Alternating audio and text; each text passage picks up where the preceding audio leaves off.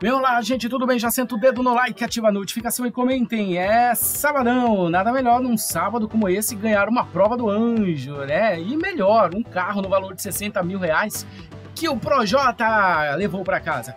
Ele disse que vai dar para o pai, hein? Olha isso! Projota leva melhor na prova do anjo Fiat e é o novo anjo do BBB 21. Brother conseguiu 15 rodadas completas, além do poder de imunizar alguém. O rapper ainda ganhou um Fiat Strada Volcano. O Brother vibrou muito ao ser anunciado como o novo anjo, hein?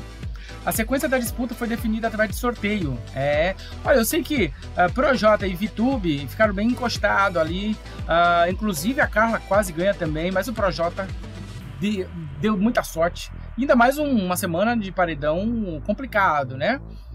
De qualquer forma, olha só para quem ele deu os, os monstros. Sara e João Luiz. O Projota disse que vai dar o carro para o pai dele, hein? Legal, né? E aí, o que vocês acharam? O Projota chorou, esse, esse Projota se emocionou, olha que carro lindo vermelho, Fiat, Estrada. É, gente, e aí, ó, todo mundo comemorando. Só lembrando que a, a Carla, quando saiu do quarto secreto, ela tinha o poder de vetar o anjo e o monstro, ou o monstro, um dos dois. Ela poderia ter vetado né, os monstros, mas ela não vetou, então Projota indicou Sara e João é, o João lá, né, Luiz, eles continuaram o monstro, agora ela pode vetar depois o anjo, a imunização. Vamos ver, né, como é que vai ficar agora.